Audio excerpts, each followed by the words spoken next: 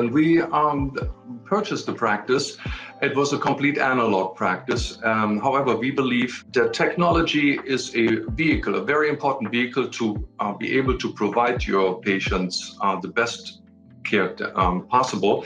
And complete health dentistry actually symbolizes also to uh, use these vehicles, to these means of diagnostics, uh, for instance. 2006, then our first machine, a 2D um, X ray machine in the United States. And it was phenomenal. We also then implemented sensors and the digital age was basically knocking at the door. We opened, we actually implemented also other digital technology, uh, for instance, um, the CEREC system. The, um, the switch to a 3D system came because um, of more education. We were trained in, to look at um, the patient in a complete way, and that includes also the airway, that includes jaw joints, that includes not just the teeth, but also the surrounding bone. Um, implant dentistry has become a wonderful addition to uh, my practice, my journey, and over time, you understand that uh, you need to look out for improvements of technology. And when I noticed that um, there's a better product available and, for instance, has less radiation exposure for my patients, I was very keen to learn more about that. And the Axeos is exactly that. When I compare the um, image quality with the uh, Galileos and the Axeos, a huge improvement. I actually have to tell you that just recently, uh, our IT person um, came into the office. We had a uh, little computer problem, uh, but when we um, showed him the 2D and 3D imaging that was rendered with the Axeos and the Sidexis program, he made a comment that actually made me kind of like chuckle. He said he's never seen a clearer image, and he's gone through all offices uh, in our area to um, dominantly digital specialty offices, uh, dental offices in our area. So that was actually um, quite nice to hear. Um, knowing um, the computer technology and the CBCT technology for several years now, uh, for me, the learning curve was um, not even measurable. It was almost like uh, they make it now too easy um, to handle the machine. And the technology is um, becoming so user friendly and so patient friendly. And we have to say that uh, the Dentsply Sirona uh, representative uh, for imaging, she has uh, provided us with a terrific start program where she actually comes into the office and makes um, a great overview, an introduction into the machine, and then we, of course, um, learn a lot about positioning of the patient. What the assistants uh, rave about mostly is that the positioning um, helper, there is a positioning, patient positioning assistance that makes it very reproducible, that makes it very easy, very comfortable, and very fast to position the patient in the right that was really uh, interesting. We used the uh, machine the first day when we had it. There was no um, waiting for um, are, we going to master this now or not? Yeah, let me talk about that workflow a little bit because this is uh, where we probably have uh, a different approach. Um, but I think it's an approach where patients are being um, made aware of the difference between our technology office and maybe the one next door our workflow um, is number one, the patient comes into our lobby, our waiting area, because we are limited in space. We are a small office. We have no other place than uh, putting the Axeos into our lobby. And I was wondering how that is going to uh, come across with the patient. And a lot of patients made comments, and they were actually mostly positive. I find it's a very aesthetic. It's very beautiful. Look. It also has some features that you can see on their website, on the Dentsply Sirona website, where it actually produces some LED ambient lighting. So you can have today pink, tomorrow green, whatever you want. You can have all the colors of the rainbow. The patient will, if it is a new patient, will come into our office and join us for um, a brief interview we will then offer them to have a CBCT taken as part of their initial examination. And that is the biggest wow factor for the patient. They've never seen any technology like that.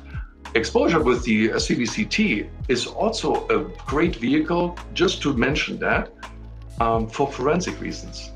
There is no better way to image the patient with uh, x-rays than having a complete um, anatomical rendering of their skull. Among other um, parts of our workflow, uh, we have definitely patients coming in very specific with questions regarding their jaw joints.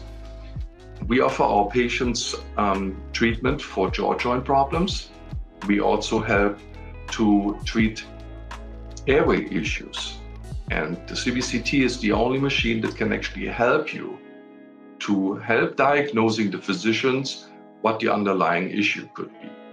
Regarding implant dentistry, um, which I picked up again, having an uh, integrated system like the Axeos, um, speaking with my um, computer software on the fabrication side and the rendering of the images and bringing intraoral scans uh, together was just mind blowing.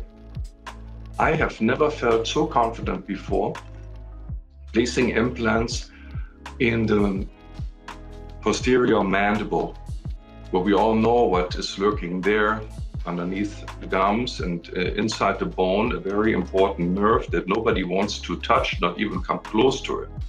I was um, definitely scared to do this procedure, placing implants um, close to anatomical structures without the CBCT.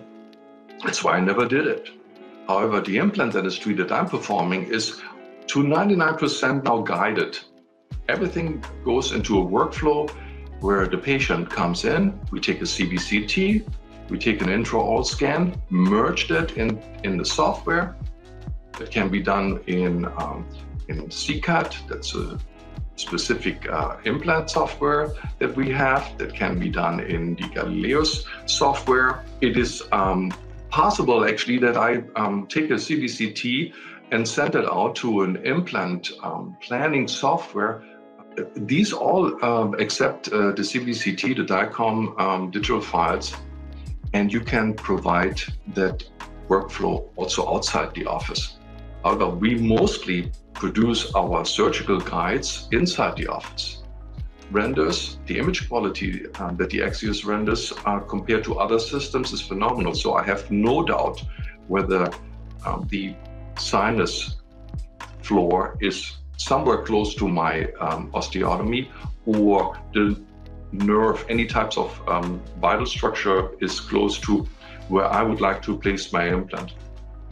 The rendering is so complete that I can measure how much bone grafting I actually would have to provide for the patient so that I can tell my assistant what type of membrane, how big the membrane should be, and what the bone grafting um, amount uh, should be provided for the patient.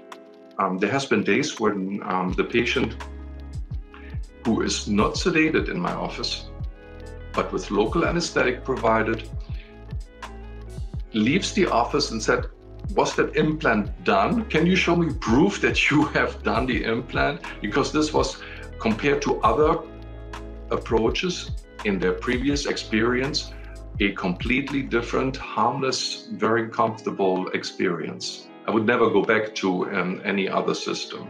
Um, Axeos and what a big improvement is compared to the Galileos, for instance, is that we have not only the 3D rendering available, but also a 2D.